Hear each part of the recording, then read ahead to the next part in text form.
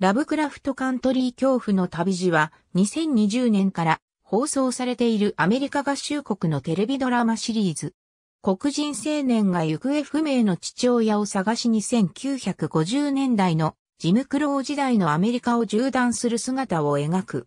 制作総指揮はミーシャ・グリーン、ジョーダン・ピール、J.J. エイブラムスほか、出演はジャーニー・スモレット・ベル、ジョナサン・メジャース、アーン・ジャニュー・エリスなど。アメリカでは2020年8月16日から HBO で放送が開始された。日本では2020年10月24日からスターチャンネルで日本語字幕吹き替え版が配信された。2021年7月、HBO はシリーズ打ち切りを発表した。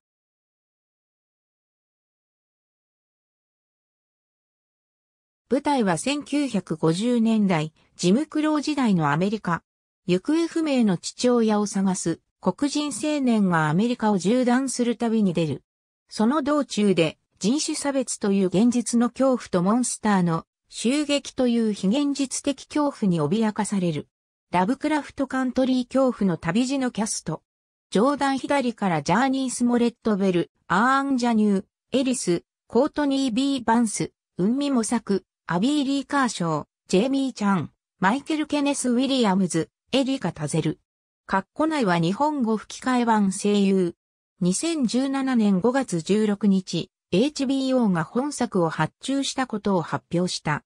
ショーランナーはミーシャ・グリーンが務め、エグゼクティブプロデューサーにミーシャ・グリーン、ジョーダン・ビール、J.J. エイブラムス、ベン・スティーブンソンが名を連ねた。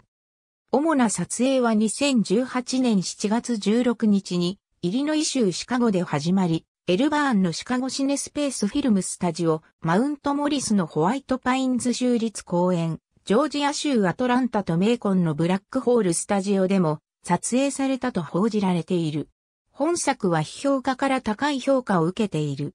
批評集積サイトのロッテントマトズに103件のレビューがあり、批評家支持率は87%、平均点は10点満点で8.34点となっている。また、メトクリティックには41件のレビューがあり、過重平均値は79、100となっている。ありがとうございます。